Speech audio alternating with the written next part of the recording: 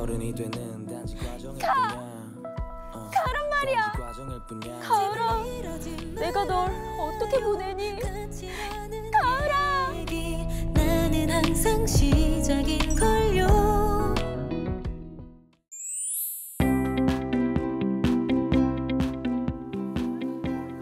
안녕하세요, 오세영입니다. 여러분, 2022년도의 가을도 이제 점점 저물어 가고 있습니다. 이 계절, 이 가을을 저처럼 아직 떠나보낼 준비가 안 되신 분들 많으실 것 같은데, 그래서 오늘은 이 가을을 누리고 만끽하고 즐겨보면서 새로운 계절을 맞이할 준비를 해보려고 합니다. 자, 여러분, 준비되셨죠? 출발하시죠! 가을의 끝자락에서 만나볼 첫 번째 여행지는요. 작은 금강산이라 부르는 소금산 등산로 구간에 암벽 봉우리를 연결한 출렁다리입니다. 따사로이 내리쬐는 햇살과 낙엽 구르는 소리를 들으며 등산로를 천천히 올라봅니다. 가면 좀 어때요? 좀 좋던가요? 뭐좀 무섭고 막 그래요? 아, 아니 처음에 느낌은 아, 대단히 아마 그 전경이 굉장히 아름다워가지고 아 전경에 취하죠. 그 올라오면서 흘렸던 땀이 전경을 보면서 와 우리 대한민국에 이런 곳도 있었나 나 이렇게 이제 느끼게 되고. 아름다운 절경을 만나러 소영 씨도 발걸음을 재촉해 보는데요. 578개의 계단을 오르면 출렁다리를 만나게 됩니다.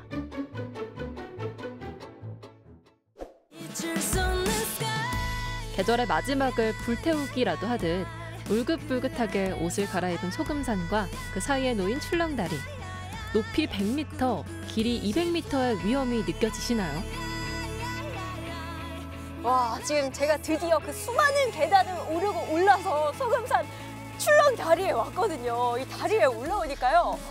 진짜 이름답게 가만히만 있어도 출렁출렁 출렁출렁 아마 지금 카메라도 출렁출렁 있는 것 같거든요. 와 밑에 보면은 조금 심장이 쫄깃하긴 한데 그럴 때 이렇게 소금산 자연 경관을 보면은 지금 굉장히 뭐 단풍도 울긋불긋하고 자연 경관이 너무 멋지거든요.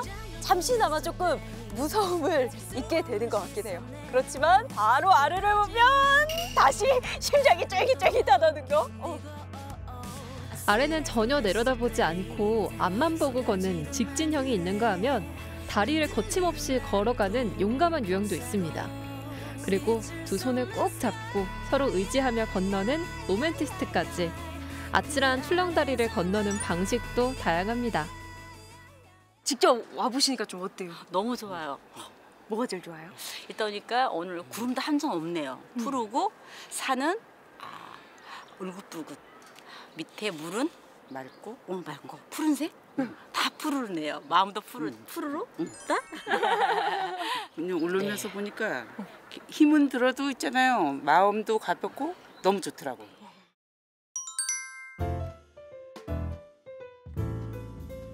시리도록 화려한 색으로 세상을 물들였던 가을이 지고 있습니다. 이 계절을 붙잡고 싶은 사람들에게 가을의 정원을 선물하는 곳인데요. 이곳은 수십 종의 꽃들이 피어나 계절마다 색다른 풍경을 만들고 다양한 컨셉의 포토존이 마련돼 있는 정원 카페입니다. 메뉴가 좀 많아 보이는데 네, 좀 다양하게 있죠. 네, 좀 시그니처 메뉴가 있어요? 아, 저희가 바다에이드 딸기 라떼, 데이지 라떼 이렇게 많이들 드시거든요. 뭔가 가을이랑은 데이지 라떼가 좀 어울릴 것 같은데 네네네. 제가 그걸로 하나 줄게요. 아, 네네 네. 저희가 이제 1층, 2층 야외 다 이용 가능하세요. 입장 팔찌가 있어요? 아, 네. 저희가 이제 놀이공원에 온 것처럼 좀 즐겁게 놓으시라고 이렇게 입장 팔찌를 드리고 있어요. 어, 입장 팔찌는 그래요? 손목에 채주시면 돼요. 오, 요거 요거. 어, 채워주세요.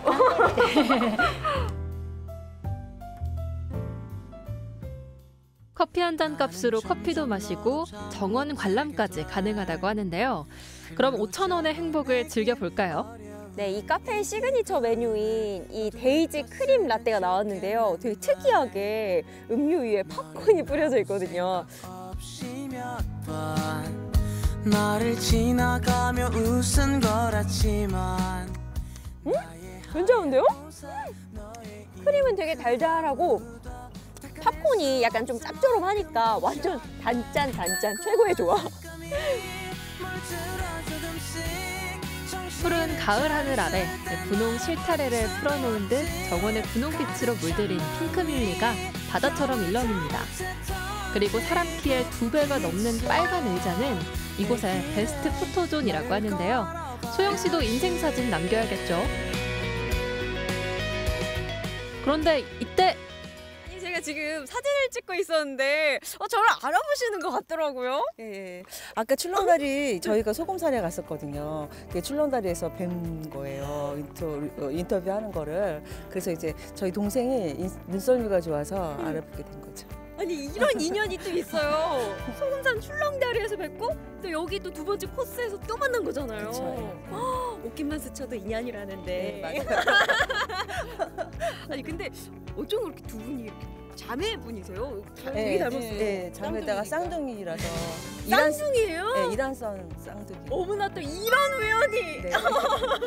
어떻게 알고 오신 거예요? 그 코스가 저랑 딱딱 맞아 떨어졌잖아요. 네, 그러니까요. 이- 그게 우- 우연인 거죠. 근데 이제 원주가 너무 요- 오늘 날씨도 너무 좋고 또 가을이고 그 단풍 구경 왔는데 이제 너무 너무 좋은 데를 오게 된 거죠. 아니 저 이따가 좀 있으면은 좀배 채우러 갈 건데 이따가 또 식당에서 만나 뵙는 거 아닌가 모르겠어요.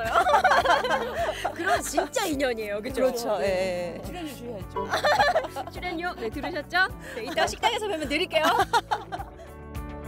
소중한 인연을 만난 기념으로 찰칵. 마지막으로 찾아간 곳은 예약한 사람에게만 주어지는 원주의 특별한 보양식을 만나러 왔는데요. 쿠킹 포일 안에 꼭꼭 숨어 있는 이 음식은 뭘까요? 진흙 안에서 이, 이, 이 겉에 이제 고온이 직접 있는 게 아니라 진흙에 있는 한번 걸러줘 닿기 때문에 기름 빠지는 속도가 굉장히 좋아요. 베일에 꽁꽁 쌓인 이 음식은 고온의 가마에서 인고의 시간을 견뎌야 맛볼 수 있는데요. 단호박과 함께 구워지고 있는 이 음식의 정체. 진흙 속 진주가 아닌 진흙 속 오리구이입니다. 그 자태를 보고 있노라면 입이 떡 벌어지는데요. 소영 씨, 침 흐르겠어요. 기름을 쏙 빼서 겉은 바삭하고 속은 촉촉한 반전 매력을 뽐내는 오리 진흙구이.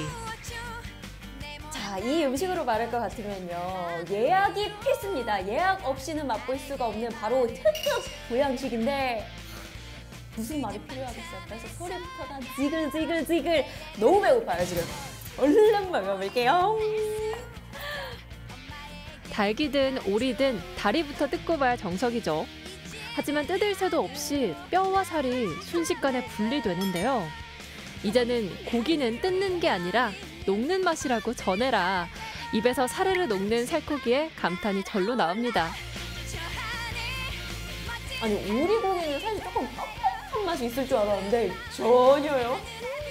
이 진흙으로 2시간 반 동안 완전 동문에서 푹 구워놓는 거잖아요. 그래서 그런지 살이 진짜 연하고 와 이거 대박이다.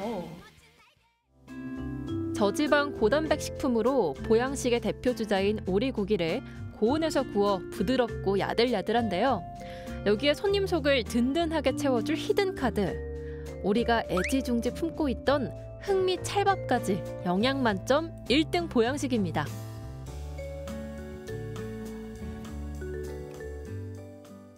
아침부터 이 출렁출렁 소금산 출렁다리도 건너고 그리고 이 예쁜 꽃밭에서 인생 사진도 남겼다. 그리고 마지막으로 요 특급 보양식까지 먹고 나니까요. 이제는 이 가을을 놓아줄 준비가 된 것 같습니다. 아쉽지만 가을아, 우리는 내년에 또 만나자. 문득 입고 있던 옷이 가볍다 느껴지면서 가을이 겨울을 부르고 있습니다. 내년 다시 만날 이 계절과의 만남을 기약하며 이만 보내주려고 합니다. 가을아, 안녕!